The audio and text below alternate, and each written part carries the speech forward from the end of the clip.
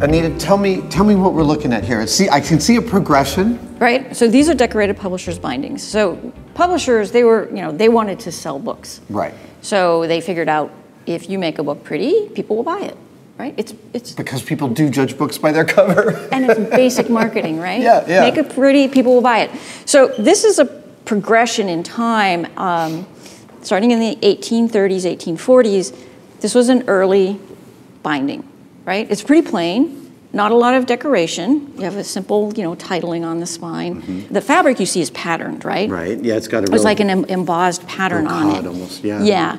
Um, and that was, you know, that was basically the, the design of the day, and that's what the technology would allow. Things kept improving. We move into the 1860s. Um, now, this is the time of the Civil War. Ah, so materials must be. Materials start getting scarce, so you have less fabric available, you have less metal available, so you can see the decoration on this, this version of Little Women. They've it's- gone reserved because. Right. They just they don't have the materials to do it. Right. They- You you can't find extra metal. You can't find cloth. You That's can't. amazing. And so during this whole eight, the 1860s, you see that the the the, the bling sort of Yeah. it's scaled down, Right. and it was just purely a, a function of scarcity. Fascinating. Okay, but clearly the bling is dialed back we, up here. we get past that and we get into something that is more of a, a Victorian sort of aesthetic, right? Very, very ornate. Yeah. Bright colors, br- brilliant red. Um, they use a lot of jewel tones, so there's greens and there's blues and there's yellows, and they used a lot of gold. And you can see the whole, like there's a whole plate that was designed to decorate it. And this is this is the this is sort of imitate hand tooling, but it's industrially Right, done. right. yes? So this was all done with a plate, Okay. right? And it would have been at least two pressings because you've got the black Mm-hmm. and you've got the gold. and each one requires a different press. Right. Exactly. Okay. Right. So you would have your, your plate made. See, and the, the back is plain. It's Oh. embossed. Oh. But they didn't put the gold on the back. yeah, look at that. Oh, that is gorgeous. Isn't it great? That's a gorgeous embossing too. Yeah. Oh, there's it gilded on the edges. Yes. Yes, we're protecting the book.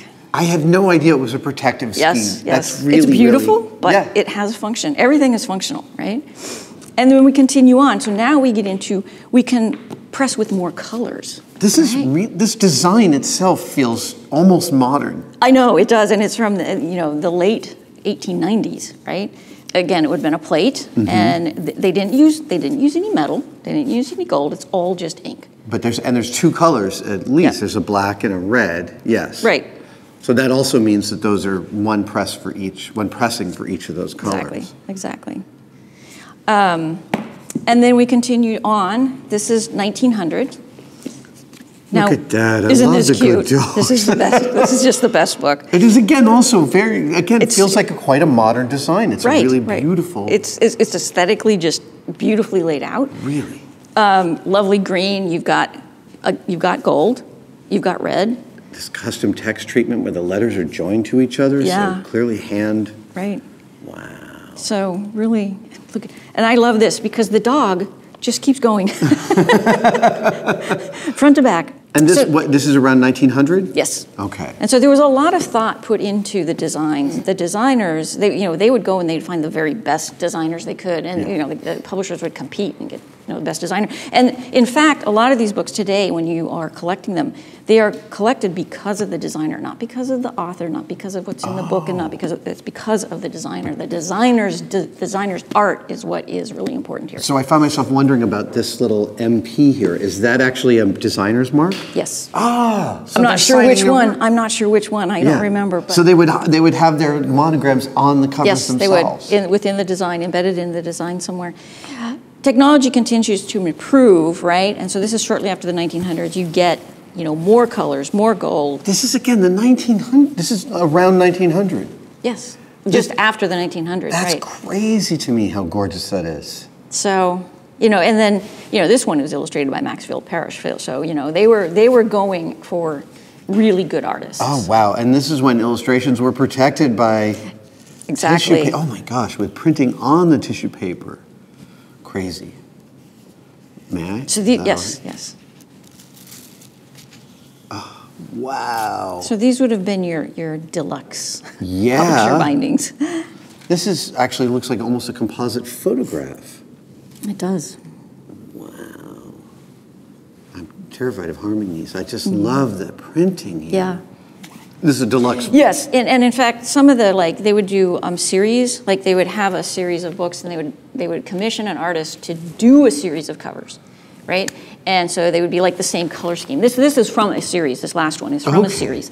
So there'd all be this this sort of light blue, almost mm-hmm. almost periwinkle, and then the artist would do like a variation and, and different different themes. So that it was clear that they belonged in the set. Yeah, yeah. And then you would, you would collect and buy the whole oh, set, right? That's great. Yeah.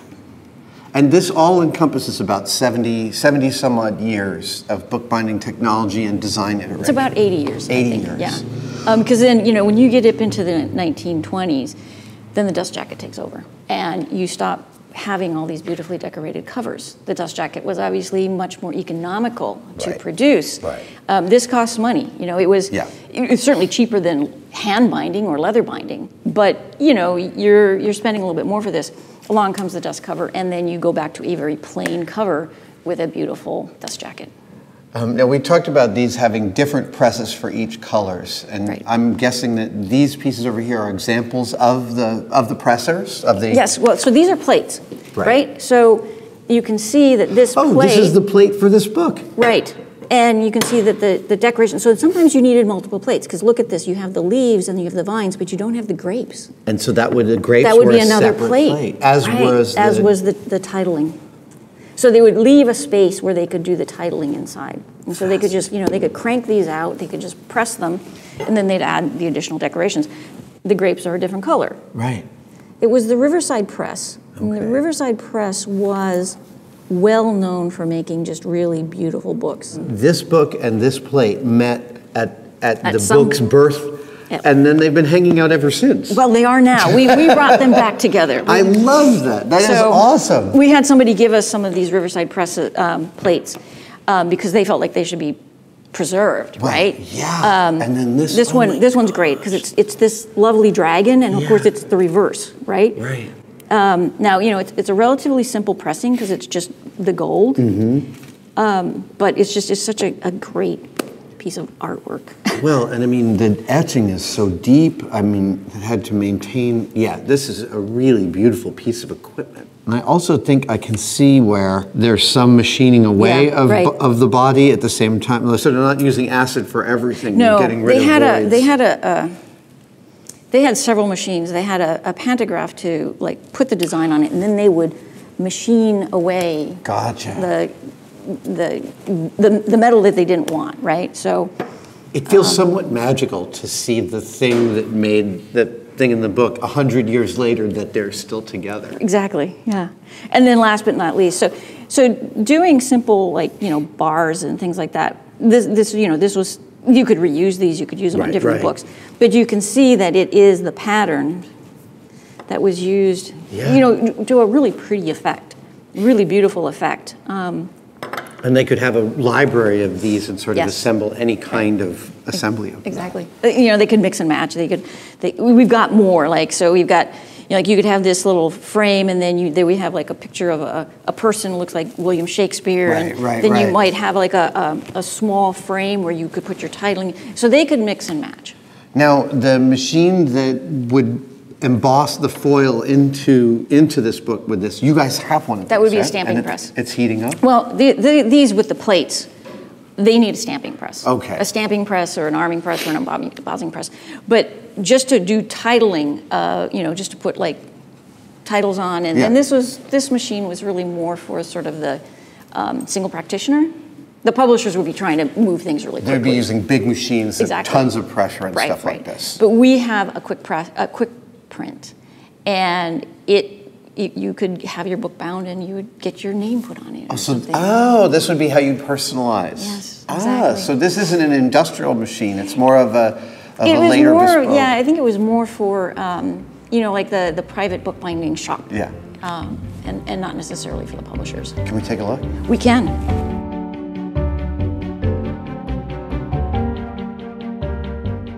Tell me about this machine. Okay. This is still totally functional, and it's, what, like 100 years old? I don't think years it's that old. I would say it's probably 50, 60 years old. Okay, all right. Um, this is a, at the all-purpose Halverson Quick Print, uh, and it's used for anything from a book to a steamer trunk. So this is really a machine for a bespoke kind of, I want to add my name after the Yeah, fact. or if you are a bookbinder, you use it for titling things. So you would, That's a little of the foil. idiot, here we go.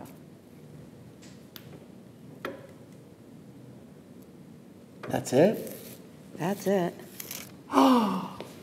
Okay, so I would probably want to check and make sure that it's, But that was, I had no idea it took so little. That's It- just magnificent. well, the, the whole uh, force, Multiplier of the lever. Multiplier the lever. And, and there's an ancient, these cloth-covered wires are feeding this ancient heating element. and it's terrifying, yes. When you, when you stop and think about it, it's like, geez, give it a tug.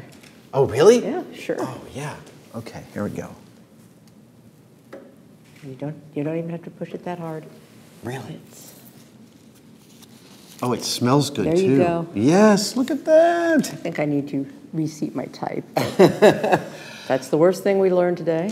So this must, oh, and is this a pressure, oh, that's the temperature It's sensor? temperature. Oh, look at that. And there are different colors of foil. You could do you know, red Oh, wow. or black or what have you.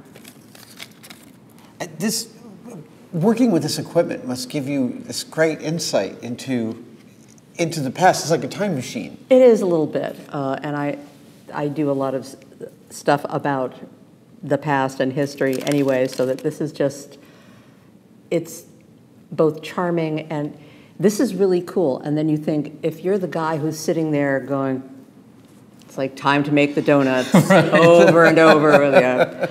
Uh, and it is a craft. They're still doing it at the, the government po- uh, printing office. Really? Oh, yeah. Um, is, is the lamp, did the lamp come with it when you guys Yeah. acquired this? That is also operable. or if you don't have your uh, machine in a brightly lit space. Yeah, yeah. Amazing.